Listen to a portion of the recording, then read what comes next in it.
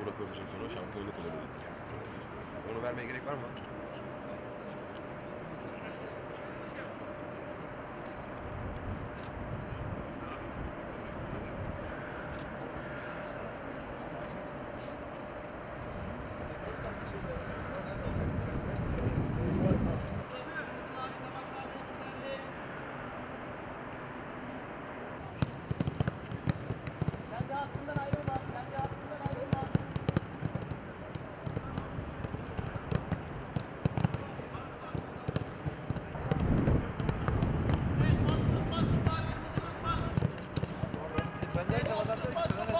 Mağlup olan galip gelen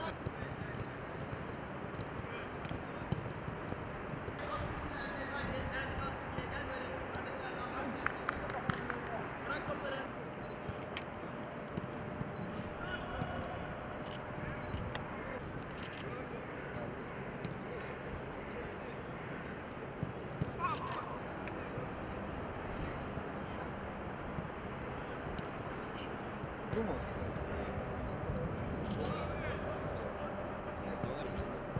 Şu anda iyi giden bir performansımız var takım olarak. İlk başlarda kötü gitmiştik son ikinci yarıda. 3 haftadan sonra toparlayıcı bir sürece geçtik. Toparladık da sayılır. İyi oyunda geçen hafta kazandık. E, bu hafta da kazanmak istiyoruz. E, önemli olan şu anda benim gol kralı olmam değil, Sakaryaspor'un kazanması. Hedefimiz şampiyonluk. Bu hedeften hiçbir doğrultuda sapmadık. Sapmak da düş- sapma gibi bir düşüncemiz de zaten yok. Umarım sezon sonu şampiyonluğa ulaşan taraf biz oluruz. E, Bursa Spor'da sezona başladım. E, iyi giden bir periyot olmadı benim için. Ee, kadro dışında değil de ayrılma süreci yaşadık. Görüştük. İki taraf için de ayrılısı böyleydi.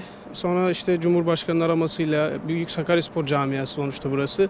E, düşünmeden buraya geldim. Bir günde imzaladım ve şampiyonluk hedefi olan bir yer olduğu için yani burayı tercih ettim zaten. Ki o doğrultuda da e, kendim için doğru karar vermişim. Şu anda o doğrultuda devam ediyoruz yolumuza. İnşallah da işte dediğim gibi sezon sonu kazanan taraf biz olacağız. Büyük bir camia. Yani şu anda anlatmak değil yaşaması gerekiyor insanların. Çünkü bu stada geldiğimiz zaman 15 bin, 20 bin seyirci, herkes sizden bir şey bekliyor. E bunu insanlara yansıtmak, o mutluluğu vermek, e, kendi açımdan da kend, mutlu oluyorum tabii.